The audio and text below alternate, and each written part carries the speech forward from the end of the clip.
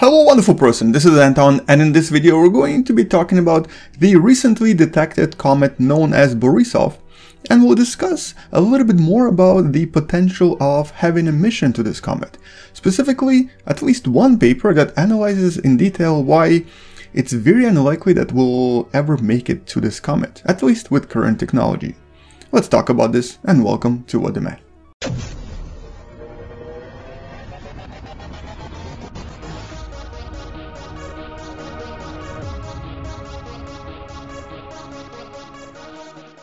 So currently this comet is still pretty far away and relatively difficult to see, but it's slowly coming closer and closer and at some point will be at the same distance as planet Mars. This is right now the only good picture we have of this comet and um, even this is probably not very detailed.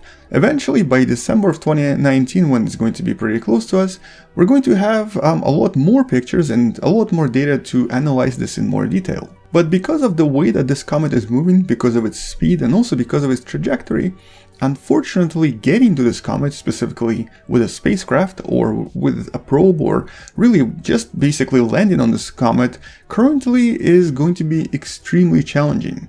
So here's the thing, there's at least one paper that came out recently, the paper you can find in the description below, that does a very good analysis of all possible trajectories and essentially all possible approaches to the comet using modern technology, including of course the SpaceX Falcon Heavy that had its uh, maiden flight just over a year ago, and NASA's Space Launch System, both of which are currently um, the heaviest lifters capable of delivering pretty heavy loads to space and thus allow us to launch relatively complex missions. But unfortunately, current engines still depend on chemical reactions. We still only have chemical engines that are the most efficient, and only the so-called ion engines have a little bit more efficiency, but they just don't have enough thrust to help us here.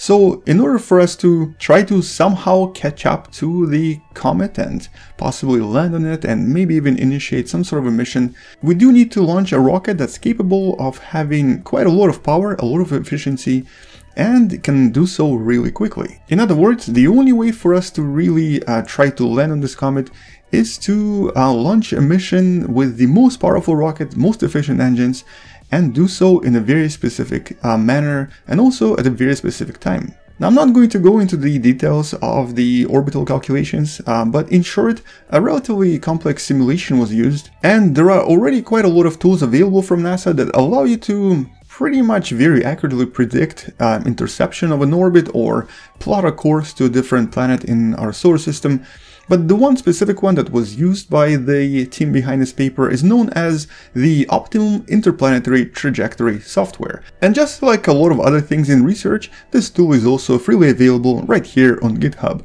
It was made by a person named Adam Hibberd, or is it Hibberd? I'm sorry if I mispronounced your name, but this person developed this really cool tool and has quite an extensive manual available for you if you'd like to try this yourself as well. Now anyway, let's go into the details of what these scientists behind this uh, simulation and behind this study discovered. Well, bad news. It's very likely we're not going to be making it to the comet anytime soon. Well, actually, possibly at all. One of the biggest reasons for this is that the optimal launch for both the SLS and the Falcon Heavy was unfortunately a year ago. Specifically, in July of 2018, so had we known that this uh, comet was coming and launched this mission a year ago, we would now be um, slowly headed toward it and would be approaching it and possibly even landing there in about a few months from now. Unfortunately, obviously we didn't know and um, we were not ready. The mission that could have been possible and could have been executed a year ago would easily bring a relatively large probe here, possibly 2 tons in mass, and uh, this would be enough for us to not just study this in detail, but also possibly bring a sample back, and this would be the first sample from an interstellar comet, or really anything from outside of our solar system. And this would have been possible even with just a little bit more fuel than a typical mission to Mars. So in that sense, we missed this chance unfortunately.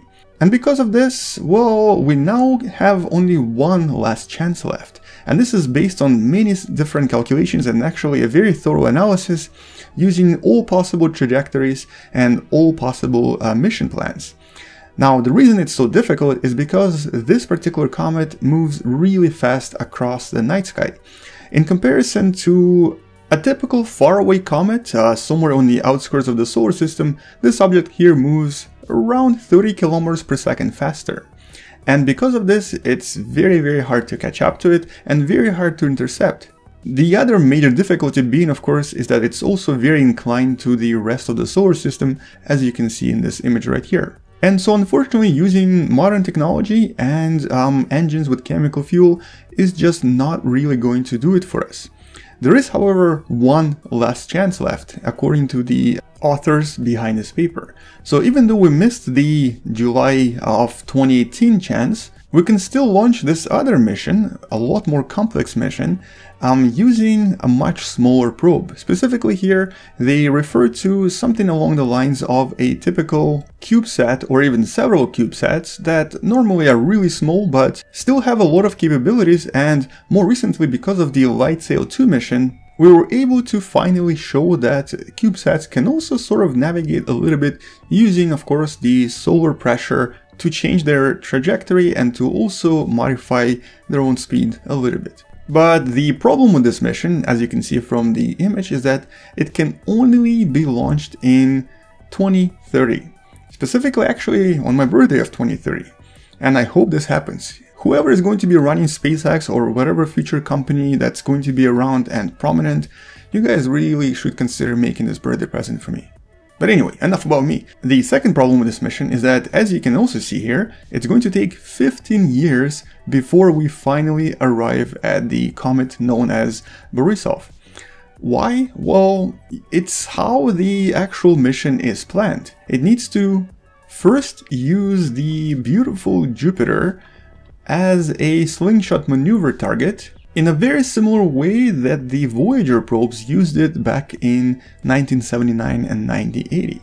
So here we use Jupiter to increase the speed in order to escape the solar system, but um, instead of passing behind Jupiter as you see Voyager 1 doing right here, had it passed in front of it, let's try to do this right now, um, it would actually lose speed and this uh, slingshot maneuver would then make it come closer to the sun.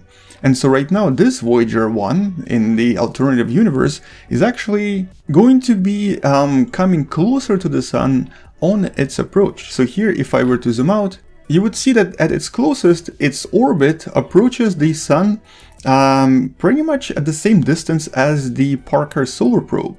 And here, uh, by passing next to the sun, we can then change its velocity and its trajectory to uh, intercept the comet, which uh, would take it roughly around 13 years. So basically, after the intersection with the sun in 2032, for 13 years, this probe is going to slowly try to catch up with Borisov, and then it will be able to finally have the necessary data and pictures for us. And although this might sound really complicated, remember, the only other mission, very complex mission to the comet, was this right here, the Rosetta mission. And this took about 11 years of the probe traveling in space, finally arriving here and taking all the amazing photos that it took.